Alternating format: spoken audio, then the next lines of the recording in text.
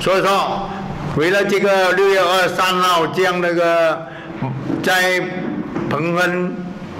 巴洛那边举办的六次盛会了，我们就联合记者招待会了，做了以下个意见：第一，我们全力支持关丹人民反西拉拉斯吸毒厂的正义诉求。在此呼吁霹雳州各组织团体，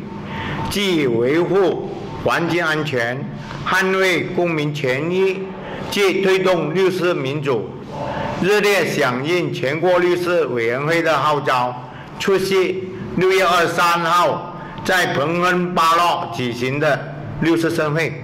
同时，也希望其他州属能够同步响应，并给予支持。二，对政府在还没有解决莱纳斯吸毒厂、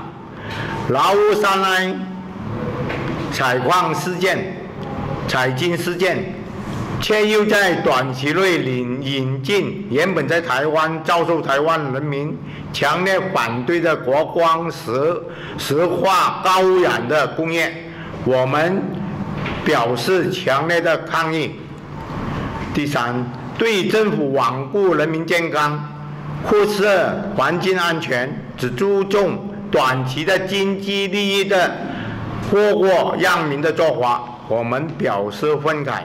并坚决反对。四，我们强烈要求政府在大选之前落实有关关闭莱拉斯吸毒厂、迅速解决劳务伤害采金公害事件。并终止柔佛州边加兰高污染的石化工业计划。关于这样的，我们霹雳反莱纳斯的委员会呢，我们本身的这个组织准备是号召两辆巴车到出席那个六月二十三号的马罗的那个盛会。同时，我们也得到。就说霹雳反辐射抗毒委员会了，也捐出两千块作为他们的打官司的费用，做了法律基金。